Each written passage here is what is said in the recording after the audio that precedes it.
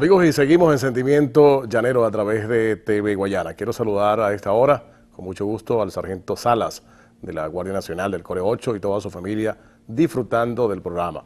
Y a todos los funcionarios del Cuerpo de Vigilancia y Tránsito Terrestre, quienes a esta hora pues están con nosotros.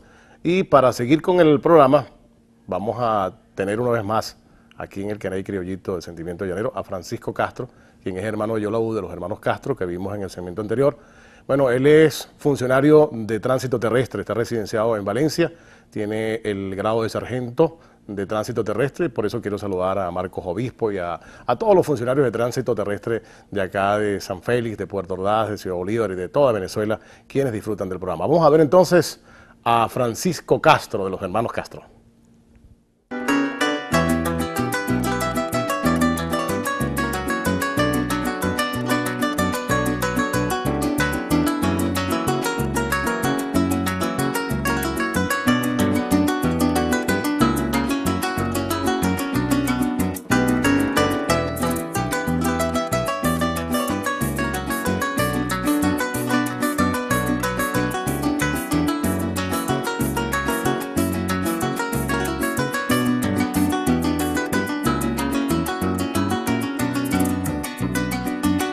Cambia en un instante, yo que siempre fui un errante, caminante sin linderos. Hoy la vida me ha cambiado, giro 180 grados y es que soy un hombre nuevo, con una hermosa familia como manda el Dios del cielo. Todo cambia en un instante, yo que siempre fui un errante, caminante sin linderos.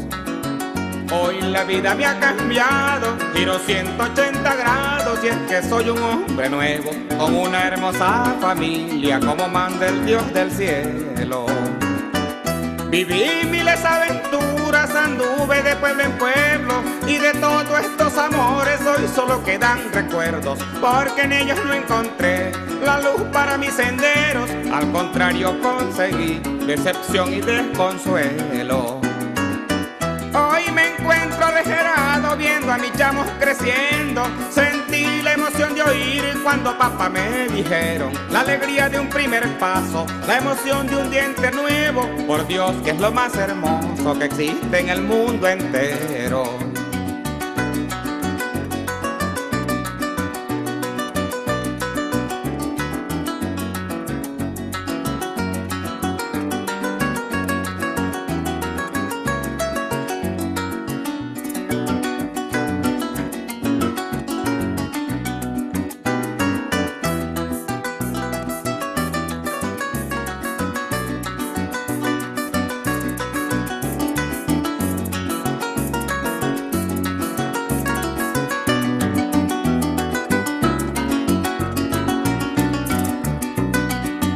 Yo que no pensé casarme, pues llegaron a alertarme que un hogar era un infierno.